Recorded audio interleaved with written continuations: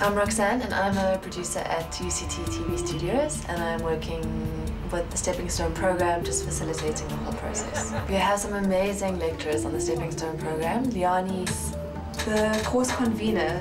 Something that's really important to me is to have a good balance between practical skills and conceptual skills.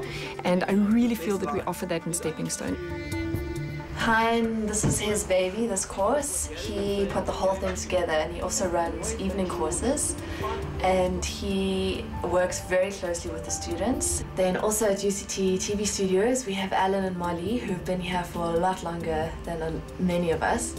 And then we have Ashley, who's also a coordinator on the course, and she makes sure everyone gets their stipends.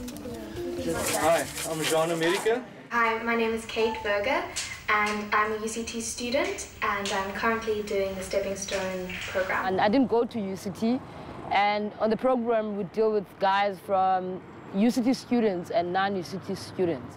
It's quite challenging working with students from various backgrounds because of the different levels of skill uh, when, when people get here. But that very quickly pales into insignificance because people are here to make films and that becomes the sole purpose of us getting together here.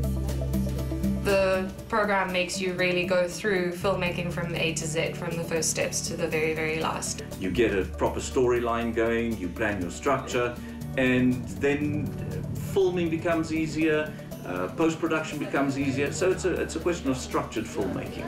It's quite a wholesome, well-rounded, five-week intensive program. I learned a lot of stuff about basically communicating with people and also practical film skills and stuff. At the end of the day, you also learn that everything works out. You must just remain calm and um, and do your best. I think it's it's very necessary for for us guys from the communities to gain these skills and to even to pass it on to, to other aspiring filmmakers. I thought I was just going to attend the course, you know, just improving my skills on filmmaking and everything, but I was fortunate I was asked to be a mentor. It was tough on my... One word to describe the Stepping Stone program for me would be opportunity. Oh, maybe two words, tough fun.